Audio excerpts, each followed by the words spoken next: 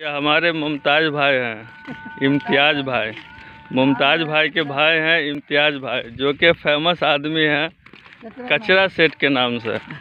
हालाँकि बहुत पुराने के खंडारों में से गिनती आता है इनका भी लेकिन अभी ये किसी और जगह पे अपने आप को सेटल किए हुए हैं। और एक गाँव के जैसे यहाँ पे कल्चर दिखा जा रहा है। माहौल जो है गाँव घर के जैसा है और ये फैक्ट्री एरिया है। ये देखिए, फैक्ट्री एरिया है। बच्चे लोग देखिए, कैसे मज़ा ले रहे हैं बालकोनी का। देखिए, बालकोनी का मज़ा ले रहे हैं बच्चे लोग। और हम आपको एंट्री करवा रहे हैं एक फैक्ट्री में, जो कि ट्रॉली बैग फिटिंग वगैरह होता है। देखिए, काफ़ी बड़ी जगह है और काम काफ़ी लंबा काम।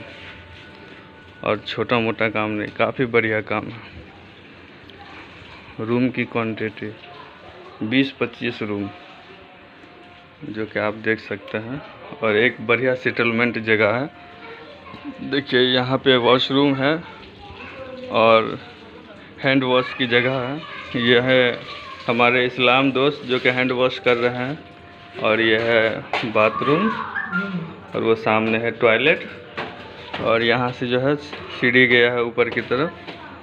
तो हम आपको घुमाते हैं सीढ़ी पे।